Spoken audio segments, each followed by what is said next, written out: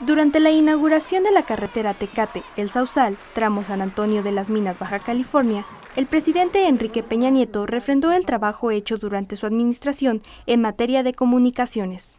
Hoy estamos entregando la modernización de este tramo carretero en una extensión de 77 kilómetros que, que comunica a este bello municipio, a este pueblo mágico de Tecate, con el municipio de Ensenada. La importante contribución que este tramo carretero habrá de ser en materia de impacto al turismo, sobre todo de elevar la productividad y competitividad de esta región del estado de Baja California.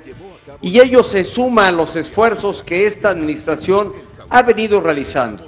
Y creo que a cinco años y medio que va prácticamente de ella, ya podemos hacer un mayor balance de cuánto hemos avanzado, de cuánto hemos realizado y cuánto hemos podido materializar en aquellos proyectos que nos trazamos. Esta carretera que sin duda permite hacer un tránsito mucho más ágil y seguro a quienes eventualmente son usuarios de la misma.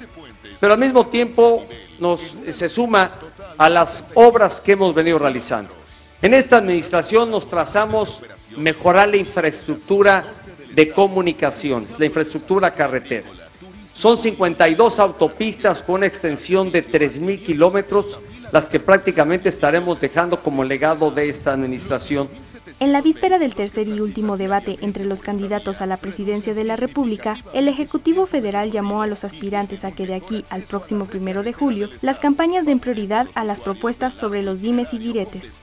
Será importante para los mexicanos realmente ver a quienes compiten por la presidencia. Observar sus posturas, sus postulados, qué proponen, qué ofertan a la sociedad mexicana, porque en la definición que tengan los mexicanos el próximo primero de julio estará la ruta que México tendrá hacia adelante. Yo deseo que de aquí a esa fecha, pues el entorno de las campañas políticas sea una que se privilegie más la propuesta constructiva y positiva del el futuro desarrollo que tenga el país que la polémica que invariablemente siempre se suscita en toda campaña político-electoral. Los dimes y diretes propios de toda competencia electoral, pero que debe quedar a final de cuentas para la sociedad mexicana o privilegiarse cuáles son las propuestas, cuáles son los postulados, qué ofertan los candidatos para que de manera libre decida la sociedad mexicana quiénes serán a partir del primero de julio o en la elección del primero de julio los gobernantes que tenga nuestro país hacia los siguientes seis años y en el que deseo México siga creciendo en un entorno de civilidad, de armonía y de gran unidad nacional. Notimex